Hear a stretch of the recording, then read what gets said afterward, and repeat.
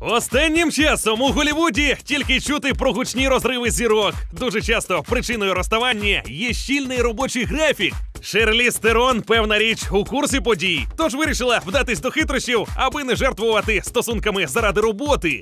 Зараз, як багато хто пам'ятає, актриса зустрічається із Шоном Пеном. За їхньою ідилією мають змогу спостерігати всі охочі завдяки численним фото папараці. Аби вона не виявилась короткостроковою, красуня вирішила проводити з обранцем 24 години на добу.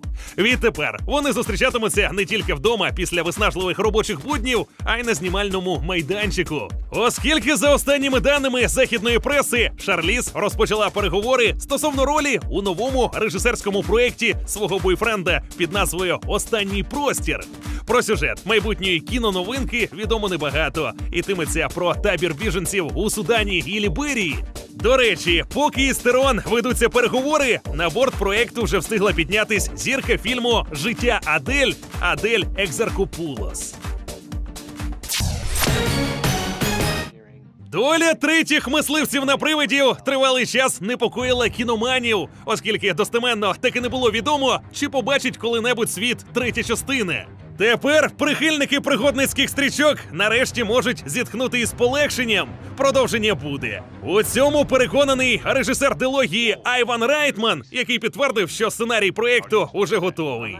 Масла у вогонь підлив зірка двох попередніх фільмів Ерні Хадсон. Він запевнив, виробництво стрічки, хоч і повільно, але триває. Річ у тому, що кінотворці серйозно підійшли до справи, ретельно плануючи кожну деталь картини, тому їм потрібно багато Але сумніватись у тому, що треті мисливці на привидів глядачі все-таки зможуть оцінити, не варто. Крім того, продюсери нарешті відповіли на питання, яке цікавить багатьох кіноманів, чиї ж історії вони побачать на великих екранах. Акторський склад іще не укомплектовано, тим не менш відомо достеменно, що у третьому фільмі з'являться багато персонажів із перших двох. Ну і звичайно будуть нові герої. Нагадаємо, оригінальна картина Мисливці на привидів вийшла на екрани у 84-му році. При бюджеті в 30 мільйонів доларів вона зібрала у світовому прокаті близько 300. Сюжет фільму будувався навколо групи вчених парапсихологів, які організовують агентство із вилову привидів у сучасному Нью-Йорку. Сиквел стрічки вийшов у 89-му і теж показав успішні результати. Ну а як себе проявить в прокаті третя частина, побачимо.